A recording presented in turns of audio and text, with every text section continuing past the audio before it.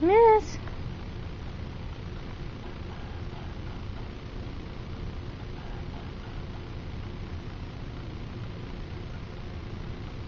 Miss? Missy's too tired to move. What do you say, Cannon?